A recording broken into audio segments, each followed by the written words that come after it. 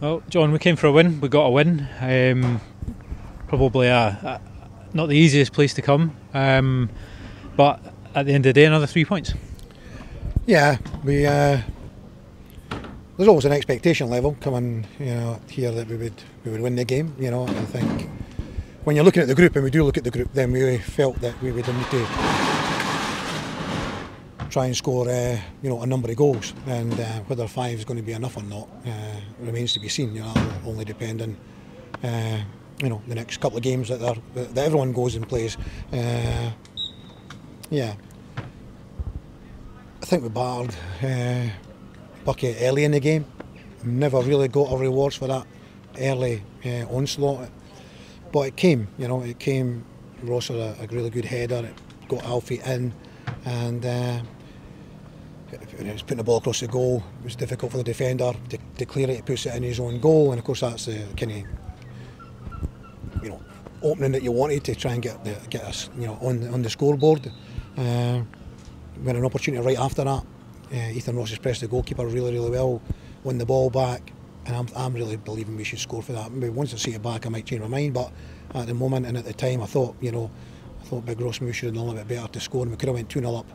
However, you know, and a, a kind of break up the park, or uh, it wasn't so much. Uh, I think it was a mistake in defence, really. You know, the grass was really sticky, it was really dry, and the ball sometimes doesn't doesn't run, and that's kind of what happened. Uh, we get caught in the ball, and the guy hits a great shot across uh, Nicky in the far corner, real real textbook kind of finish, exactly. You know, yeah, I'm sure guys were finishing like that at times. Uh, so great finish and uh, one each but we could score almost immediately uh, at the back yet, you know, go right down the park and score.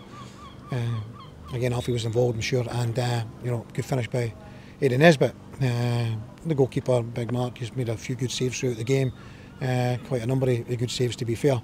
Uh, he's done that all his career against teams that have been involved in, to be honest with you. and then Sean Kenny is able to make amends for the getting caught in the ball by scoring with a header, so well worked set play from us. Uh, but kind looking at half time, so we've got to score at least two goals in the second half. You know, we've got to get at least two, maybe looking to get more than that. But and it took a long time for us to get them. We had opportunities at the start of the second half. Calvin had an opportunity. Uh, Ethan Ross had a great opportunity, and you know, there was, there was half chances, opportunities that we just broke down a little bit. We seemed like we had kind ran out of ideas. Uh, made some changes, and uh, Gary Oliver's popped up with a couple of really good bits of play. Uh, the fourth goal was a really, really good move, a good interchanging passes set up for Aidan Nesbitt to, to finish, a real cool, calm finish. And uh, then Gary's involved in putting a ball over the top for Ryan Shanley to run onto, and uh, you know, he struck the ball really, really well and off the bar. So, you know, at half time we said, you know, if we can get another couple of goals, but really if we could actually be more than that, so we did. We, we got a couple of goals. Whether that's enough or not, you know, we'll only remain to see. Uh, we ourselves, you know, got a Stenhousemuir next week, a derby game. Uh, I'm sure they'll make, make it difficult for us. I know a team that lose an awful lot of goals. Don't know. Uh, you know, they don't. Last season towards and at the beginning of this season, they weren't uh, necessarily scoring a lot, but they weren't losing a lot either. So uh, they're kind of set up that way. So that'll be uh, that'll be another uh, difficult game. Yeah, but uh, yeah, you know, it's a good win. It's a good win. Yeah. You mentioned um, Alfredo Agyemang causing them some problems in the first half. Um, him obviously coming in for, for Callum Morrison, who's missing out today, um, but also Ethan Ross. The both of the the two wingers looked really dangerous today. I thought in the first half. Yeah, we. We've got at least four good wingers, you know. Our younger ones are good as well. It's just trying to get them on the pitch at times. Uh, but yeah, Alfie, it's a good opportunity today for both these guys. They've been training well, uh, playing well when they when they come on in games. So Callum's had a bit of uh, reaction to his knee, and with the game against London United and then Ayr United, two games close together, the knee's kind of swollen up again. So there was no point. I mean, he could have came here the day, and but it would have been the same problem come Monday or Tuesday. We're hoping that the rest will. We don't want to have this stop start stop start. So we need to try and get to the bottom of it and try and get that kind of cleared up. So yeah, but from that point of view, yeah, good for Alfie to come in, start a game, and play for, for so long. He's not played a 90 minute game, so again, bringing fresh legs on with, with Michael uh, and, and, and Gary and Ryan and then Keelan. Uh,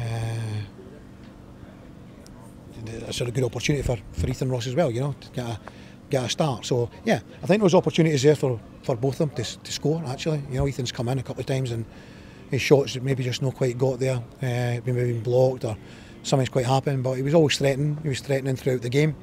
Uh, again, we would probably expect that. You know, good players, and uh, you know, playing against Highland League teams, we would be looking to be uh, doing well against against them. Yeah.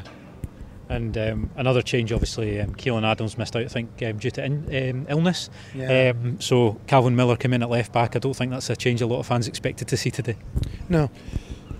Uh, Keelan uh, just picked up an illness this morning. He woke up and was feeling sick and had diarrhea and, and sickness bug. Uh, no one else in the camps got it. You know, it wasn't down to any sort of food. We all had the same food. We were up here last night. Uh, so it's disappointing for Keelan who's been so good and uh, he's got to sell in the team and it's, it's, a, you know, it's a shame for him. Uh, so yeah, we had to move, move things around about. Uh, so we end up with three left-footed players in the defence, which happens on odd occasions. Yeah, Calvin played uh, led back for Celtic. You know, uh, it wasn't his position, but uh, they tried to turn him into a, a left back, and he, he, actually did quite well. He went to Dundee and played there at times for Dundee, and we actually played him in a you know a pre-season friendly against Cumbernauld. We played him there, so we, we knew he could do that, could play there. That was the reason for it because we knew we were going to be short of defenders. We knew that this could happen. We didn't want it to happen, but we actually tried him against Cumbernauld there, and he was very good, really good, uh, and he showed that today as well. Uh, he's more than capable of going playing there. It's, it's, not where we want to play him. It's not where he wants to play. But sometimes, you know, needs must, and uh, he, he, coped really, really well. Uh, so yeah, I mean, if you take it today, Keelan out, uh, Coll Donaldson, um, Tom Lang, and, and Leon McCann. I mean, that's a back four itself. Callum Morrison, uh, you know, top goal scorer for the last three seasons. You know, it's, it's a lot, a lot, a lot out of your team. You know, uh, yeah. And just lastly, you already mentioned the, the Stenhousemuir game, but it's the uh, it's the final group stage game.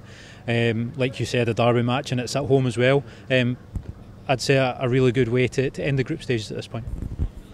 Yeah, it will be. There'll be another test. Yeah, uh, I'll set us up for uh, you know the game against uh, Queens Park uh, the following Friday. Yeah, so good. The group's been really good. We, we knew we'd have two really good games with Dundee United and uh, Ayr up here. To travel up here, tricky. You know, the pitch was a little sticky. It looks really, really sticky. The grass was a bit long, and uh, you know, it's not an excuse. It's not an excuse. It's just a fact, uh, and it makes it a little bit more difficult.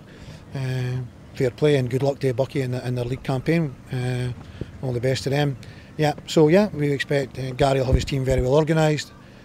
But we're back at home. We, we, love playing at home. We love the pitch. We love, uh, you know, we, we, we play there and we'll be looking forward to, to that game, yeah. Absolutely. John, thank you very much and congratulations on the win. Cheers. Thanks.